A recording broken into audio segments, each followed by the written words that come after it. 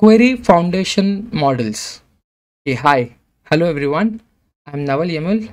Welcome back to my YouTube channel Data Master and welcome to the new playlist on the Databricks Generative AI.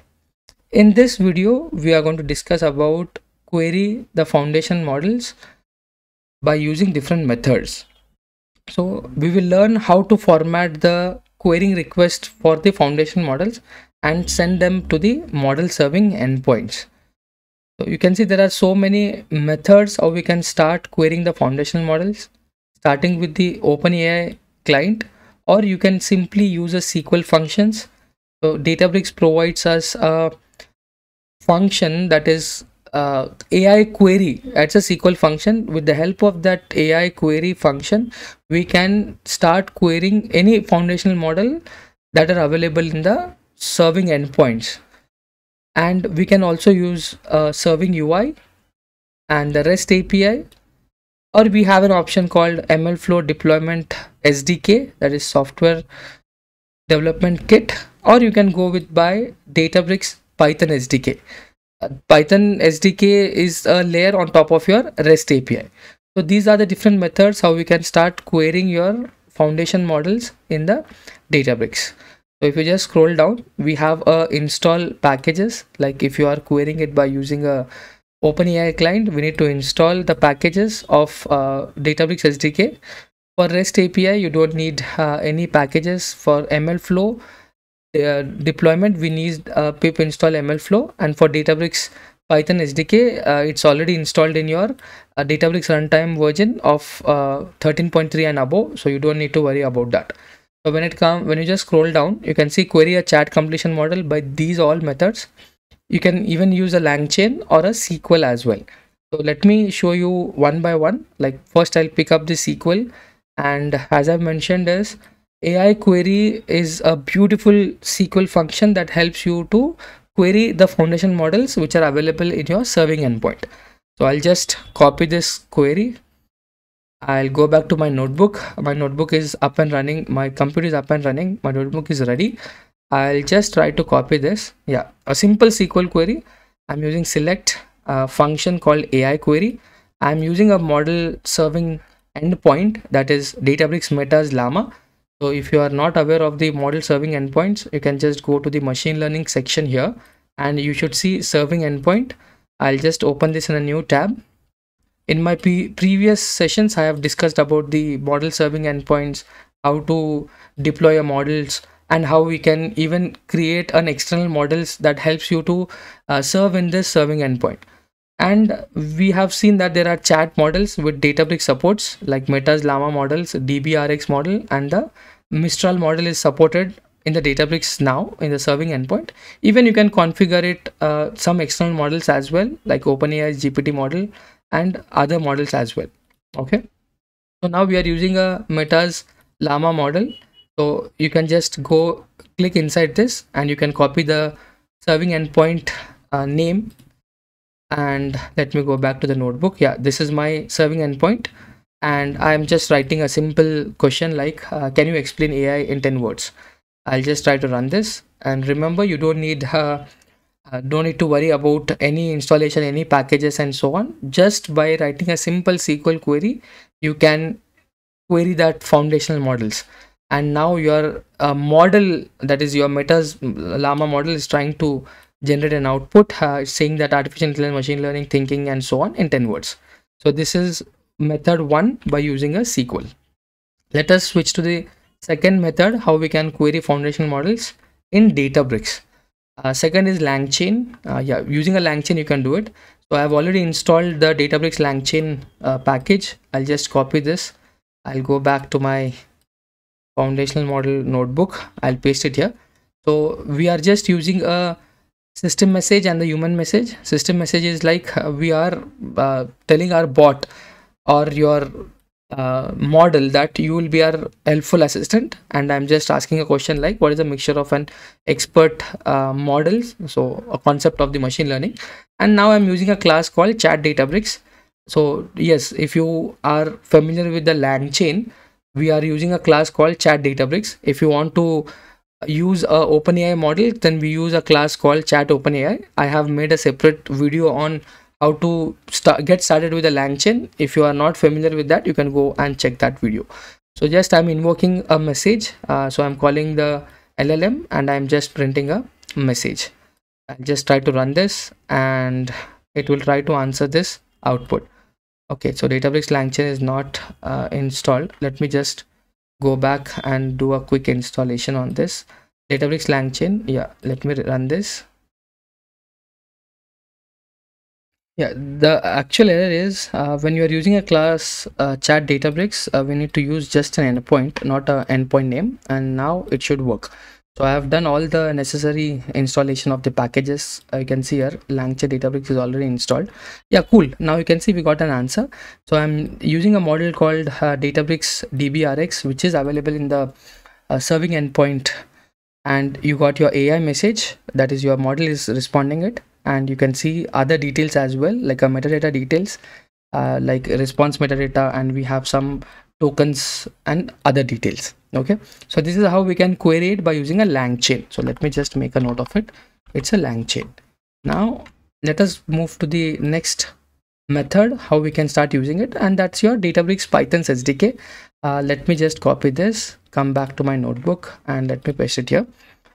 And now we are using a workspace client a databricks workspace client and here we are importing a chat message chat message role and so on. Uh, we are using a serving endpoint a dot query class and i am referring a model name called databricks dbrx instruct. And here we are giving a message like a system role and the user role. So system role is for your ai model that you are an helpful assistant and then we are writing any query. And we are we can restrict the number of tokens as well. So here i'm restricting the tokens as maximum tokens as 128 you can pass some other parameters as well. So i'm just printing the response now uh, but to be very precise i just need a content. I don't need any metadata on that. So let me try to run this and we can generate a output from the dbrx model. You can change the model name as well. Now this is by using a databricks python sdk sdk okay? Let us wait for a few more seconds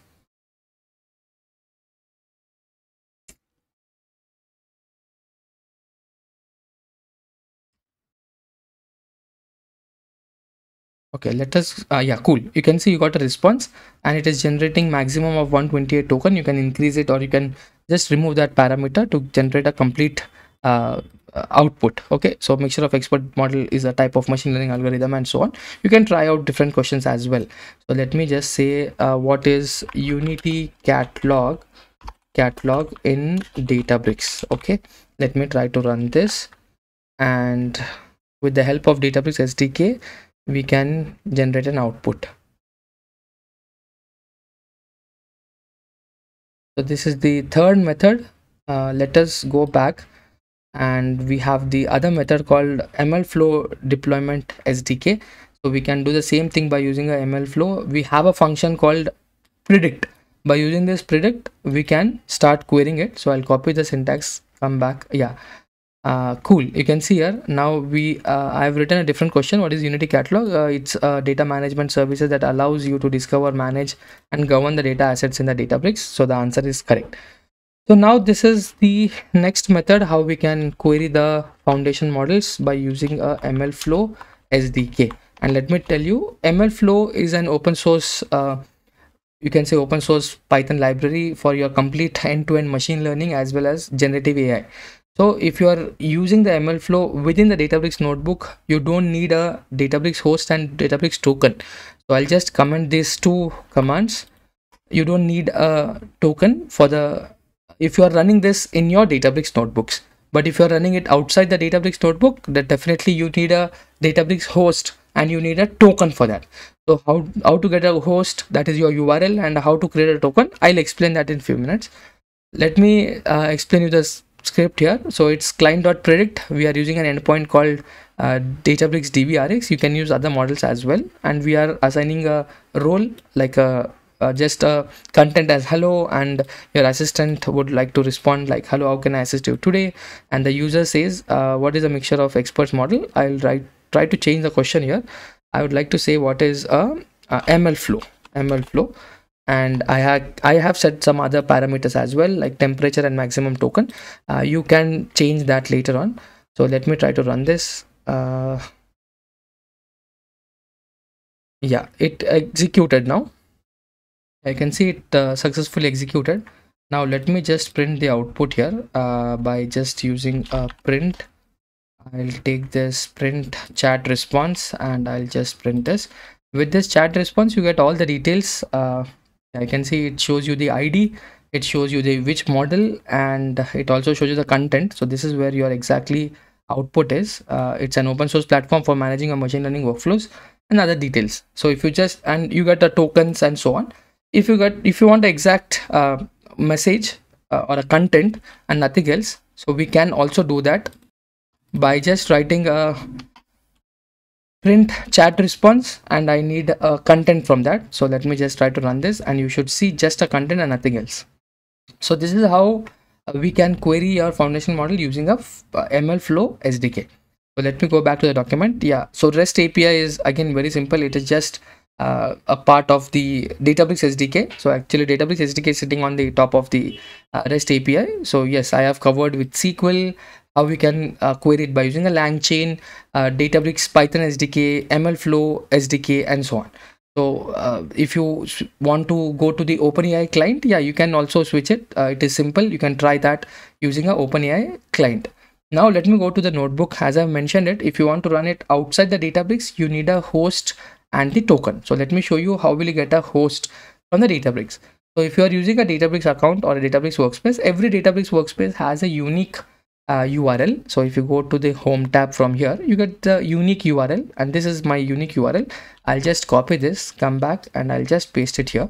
So this is my host starting with HTTP link and this is my Azure Databricks. I'll just copy this all. Uh, if you're using a AWS Databricks, then it starts with uh, cloud.databricks.com, but this should work.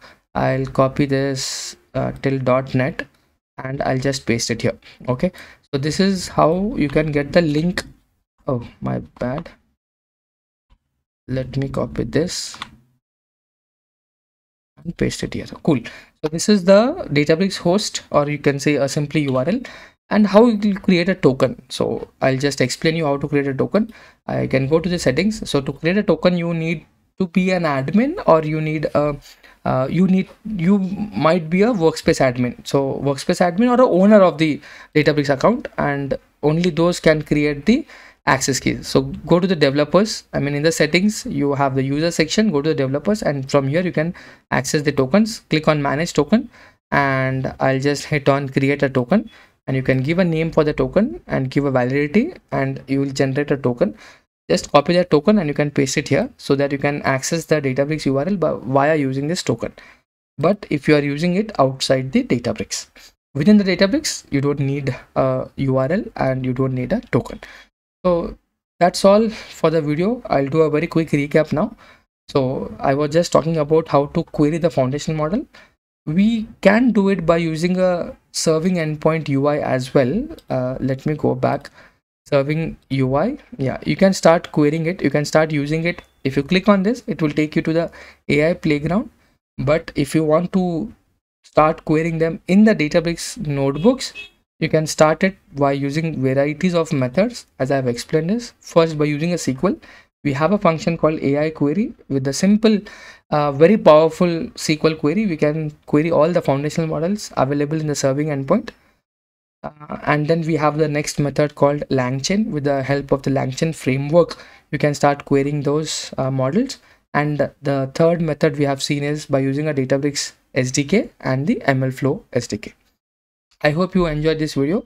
If you like the content, please like the video, subscribe to my channel and share it with your friend. Thank you for watching again. Keep learning. See you in the next video. Bye-bye.